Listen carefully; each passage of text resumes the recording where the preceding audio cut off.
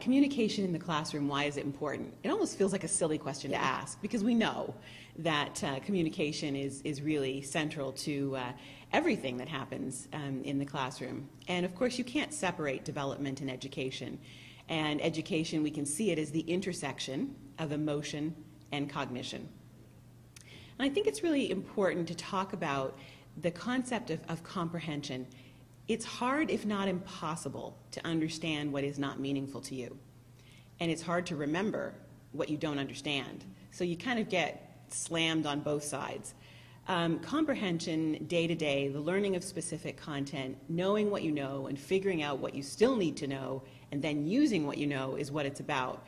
But if the basic comprehension isn't there, and that's, you know, then you just, you can't move on.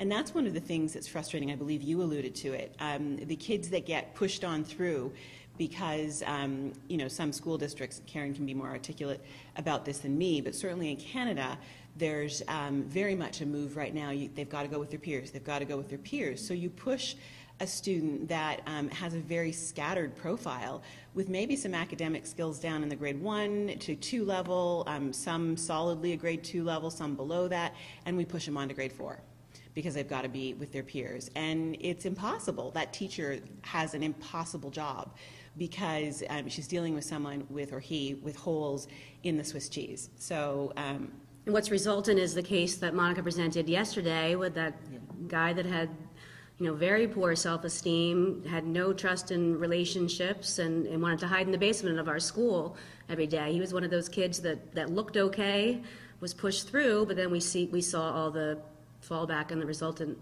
behaviors.